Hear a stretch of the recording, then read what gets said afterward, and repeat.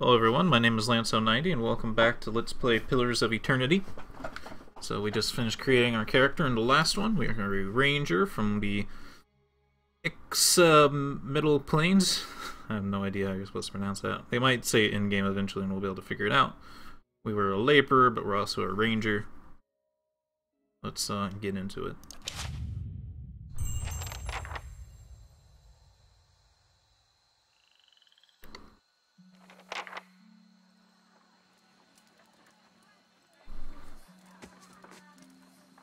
Caravan Master finishes addressing the group. He has a bushy red mustache and sagging jowls, quivering as if for emphasis. Everybody stays close to the wagons, got it? Stay out of the woods, and beasts take you if you are planning a stroll through those ruins up there. He nods toward a looming black mass on the hillside. Whole area's crawling with hut-dwelling types who'd be happy to stick an axe in you for trespassing.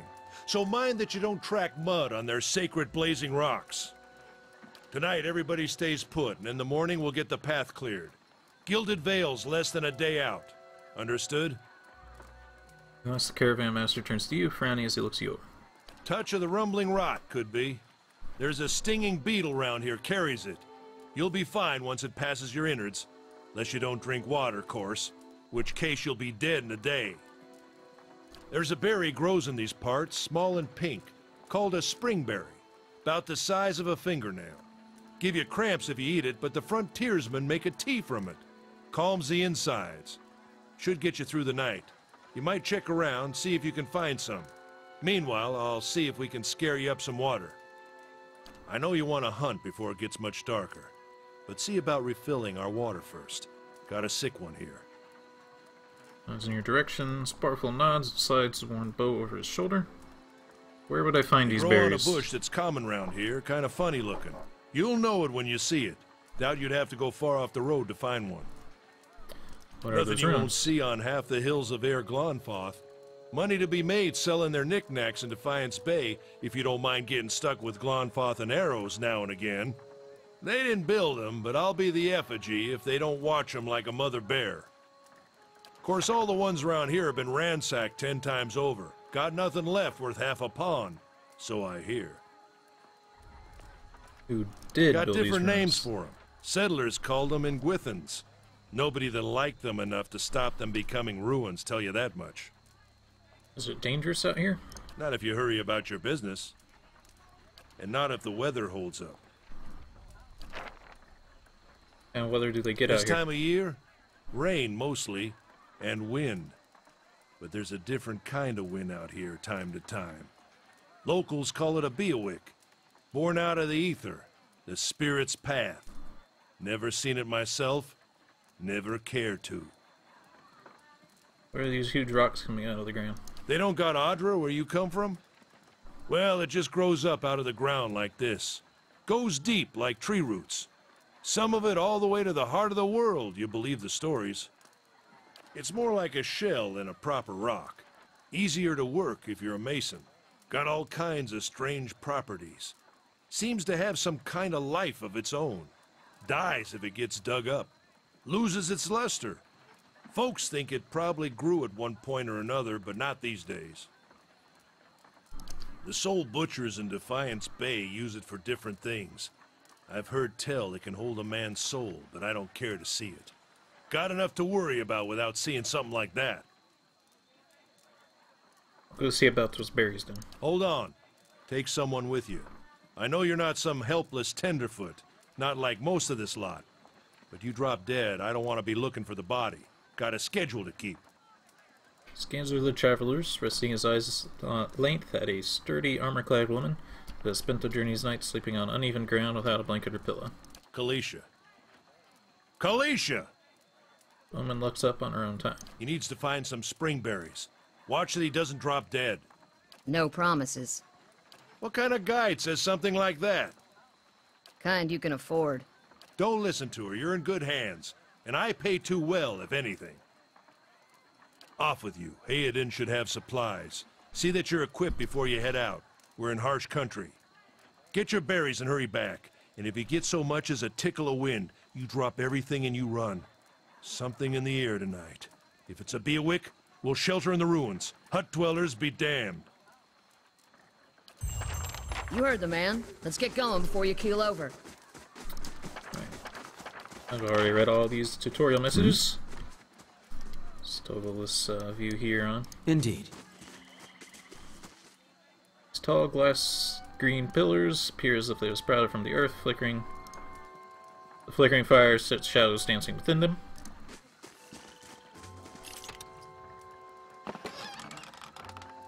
Still don't know exactly how these looting buttons work. This one says take all, but immediately puts it in the stash. If you click on the stash, it also puts it in the stash, so I don't really know. Just been clicking and dragging it for myself. Deer wooden clothing. I don't know what kind of levels of armor I want to wear with this character. Because, like I said, in this game, it doesn't restrict your arcane ability like it does in D&D. It doesn't restrict your deflection rate or your dexterity like it does in D&D. Um, what it does is it just makes it take longer to recover from every action you do. So that means it takes longer to attack, which means kind of lowering your DPS. Essentially. So I might want to go to something a little bit lighter than scale mail. We'll see.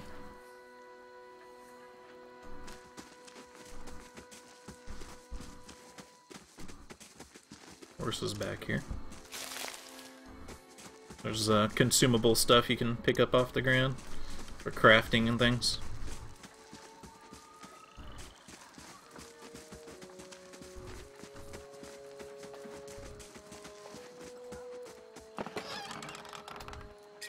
Generation. Oh, this is my inventory. Okay, this is where my inventory selected. Anyone need supplies?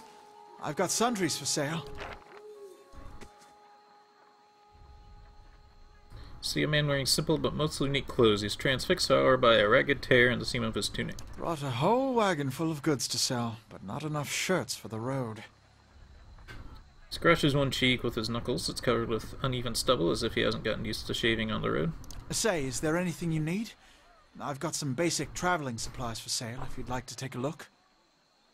Where are you? I'm a trader, originally from the Aedyr Empire, but I've been trying to establish new business out here. Life on the road has brought some unexpected challenges, to be sure. And I'm sure you've noticed how prickly the locals can be. But we're here to make the most of things, right? So this is our first uh, dialogue option that will change like our uh, disposition, our attitude, so to say. And that look like that. I'm sure you'll do well. Passionate. You think those caravanners are pickly, watch out for those axe wielders that Demo mentioned. Clever. Incredibly by naive. I'm supposed to surprised you lasted this long. Well, I don't think we're cruel. I don't know if we're passionate though, or clever. Hmm. Guess I'll go with passion. We'll see, I suppose. I'm just trying to do right by my family. Something else you need? Looks like we're settled for the night. Tell me about the Aedyr It's Empire. not as big as it used to be, but it's still big. The mainland is a continent northwest of here, but the colonies used to include Readceras and the Dyrwood. About 150 years ago, Dyrwood won its independence from the Empire. A fact our companions are quick to remind me of. Gives you grin and nods at the other scattered Cavaliers. Why do you move all the way out here? Because it seemed friendlier than Readceras? My brothers took over the family mercantile business a few years ago, and there wasn't enough for me to do back home. I moved out to try and expand. Dyrwood is a former Aedyr colony, so it seemed like a good place to start. As much as I admire Readceras's worth ethic, they always struck me as a little fanatical. Sounds reasonable enough. That's high-minded of you. Seems like you got the short end of the stick. Uh, rational probably makes sense. I don't see it that way. Ben's restacking the crates in his wagon. My brothers and I all working together for the sake of my family enterprise. Let's see what you've got. So we have a bow. I haven't exactly looked at our bow. Maybe we should look at our stuff before I go through this. wonder if there's a... No, I have to... we have a warbow, two-handed. Has a 0.5 second attack speed. Damage is 15 to 22 pierce. Versus deflection. Something else you need? Here's a hunting bow.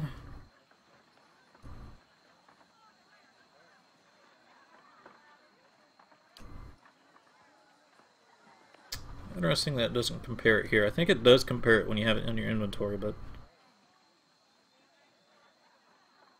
Oh, I can look at this one.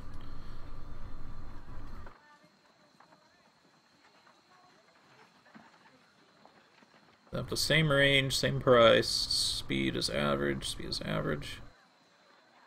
With two-handed, 11 through 17 damage. 15 through 22. Sounds like the warbow is better on all counts. I don't know why I would use the hunting bow.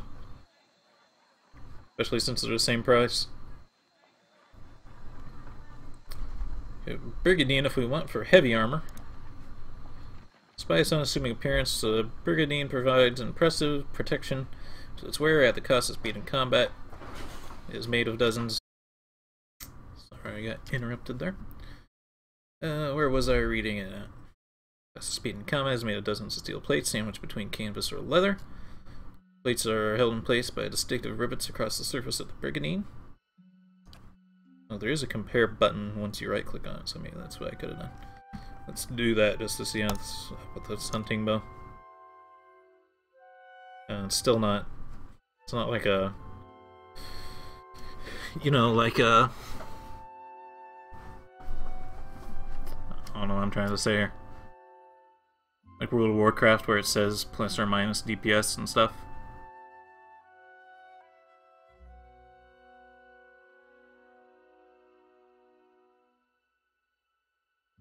Says it can be fired more quickly, but I'm not sure I believe it. Because the interrupt thing is like the same.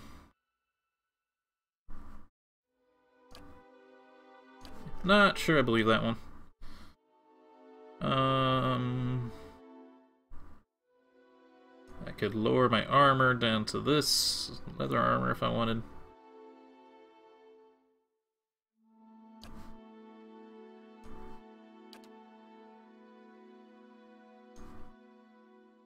Another interesting thing, again, it's another thing I'm not sure if I agree with it, if it's a good idea or not, but all armor, it's kind of like, it's like, like the stats, it's all balanced.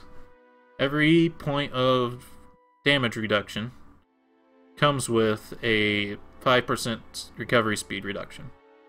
It's a hard value. In D&D, you'll see it like not really match up between the dexterity penalty and the uh, uh, damage reduction levels. For example, if I recall, like a chain shirt has like medium armor kind of armor strength, but also has really high dexterity. It's just more expensive than normal. This one it doesn't. In fact, the leather armor is worth the same amount of money as the scale armor.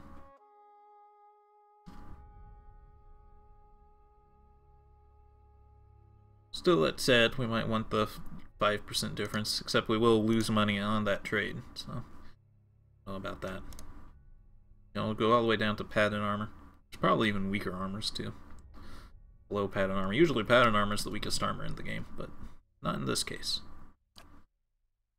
Uh, I don't think I'm gonna exchange them around. Try to get something. Sell this. I'll grab a couple of lockpicks. I don't think I'll trade anything else. We should pick up some more loot here in a moment. We kind of do need a melee weapon, but we should get it. Technically, I have one mechanic skill, so I can unlock most locks, but there might be one or two that aren't at my level here.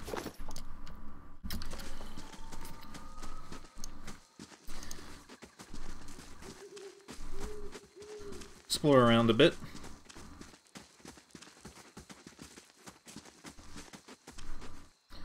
Fallen tree doesn't budge, sap oozes from its jagged wound at its trunk. Not looking forward to trying to lift that thing tomorrow.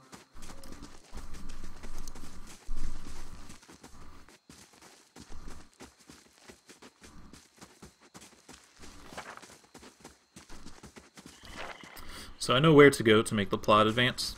So what I'm going to do is kind of avoid advancing the plot for a little bit I'll so I have can your water explore. soon enough. Stream's not going anywhere.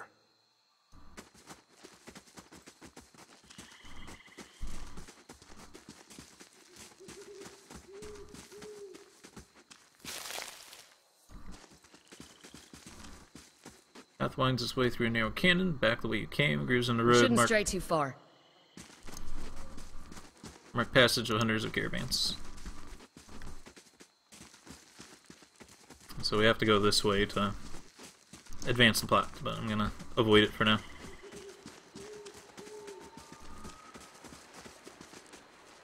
I'd kind of like the wolf to be in front of me if I could.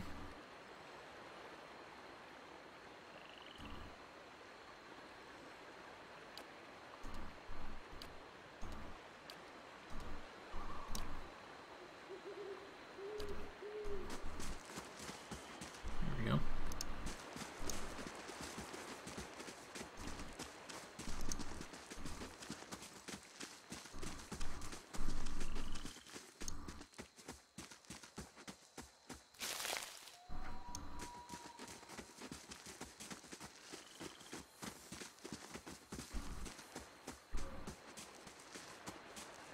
Let's uh actually work on that. That. I don't know what that is.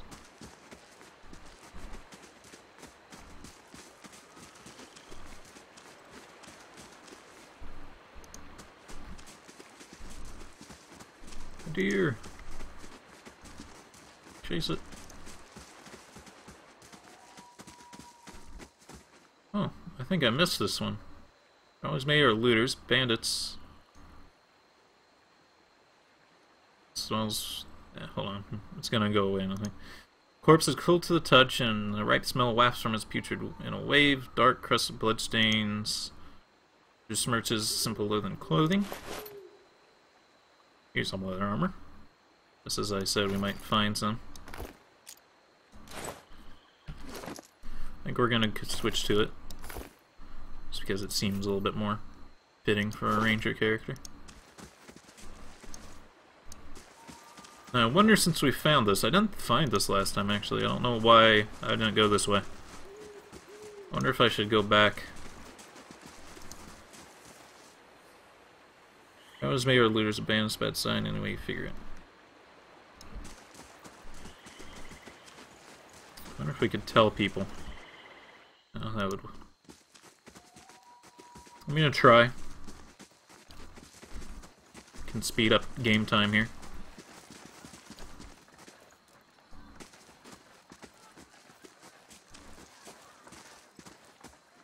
Go on then, before it gets it's too dark.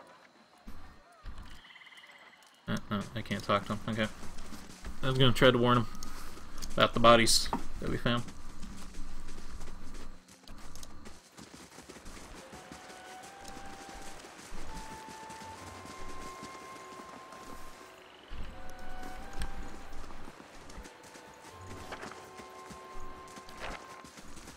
I have it. I have it set to be permanently on.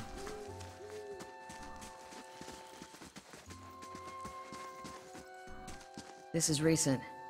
Not good.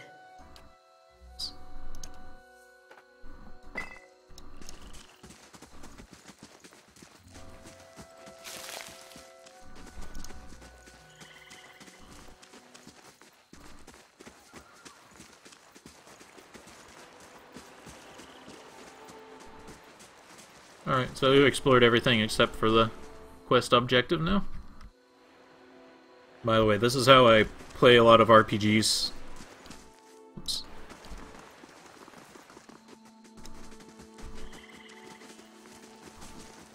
I always tend to explore everything first before going to the quest objective. Let's check by those outcroppings. Alright, combat. I don't think any of us. Let's see, I can mark prey once per encounter. 20 meters. Want to do this. We can do it every encounter, so I don't have to worry about having to rest after to get it back. Hmm? You can knock down people twice per encounter. You'll do that. I don't know if my wolf can do anything special. No. Yep, I know. It's not working! And everyone attack. Oh, you What have you to need? still knock down.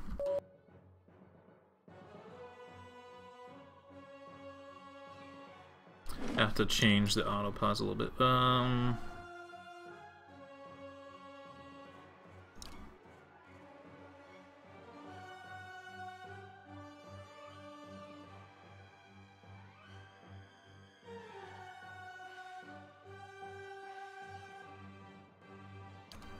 Paramount ability. I don't need that. I don't think. Maybe I do. The crit. Wow, that was over very quickly. Of Much, course. Much more quickly than my uh, monk, I think. This is it.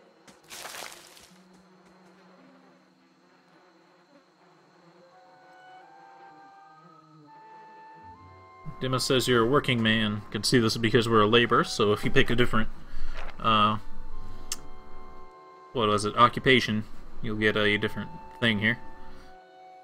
Hard work at that. I was a blacksmith. That's right. Made my building, made my living as a builder.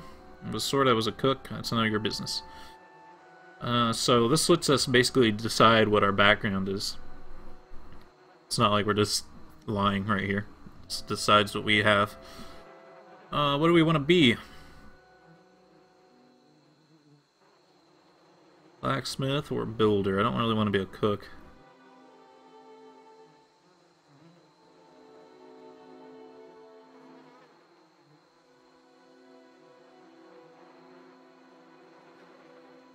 Be a builder. Just because I think blacksmith would be the more picked one, op, more picked option. Would be a builder. Yeah, how does he happen to come here? Made an error in my planning when my buildings collapsed. That was the end of my short career. I learned my trade when times are good. Now that they're hard, no one has need of me. My business partner went off with my money and went into a business for himself. All the people I thought were loyal had different ideas.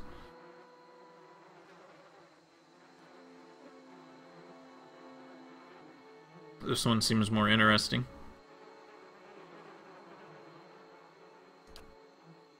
Then we'll run a ruck. Maybe the new setting will turn things around for you. Been a long time since I've been this way, but I always did like it.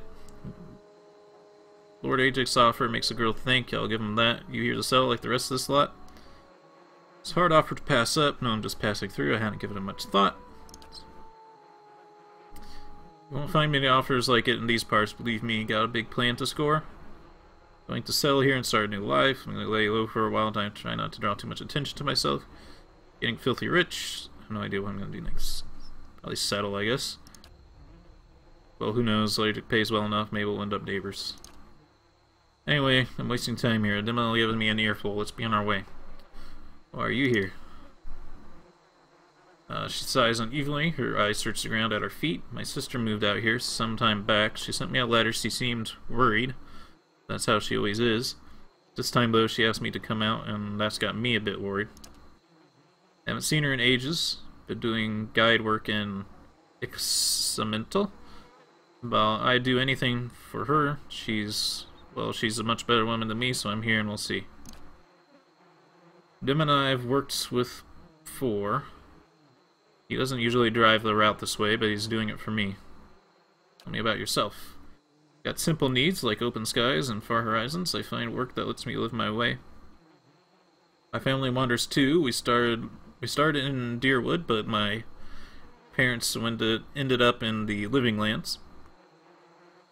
Got a brother in these names, man.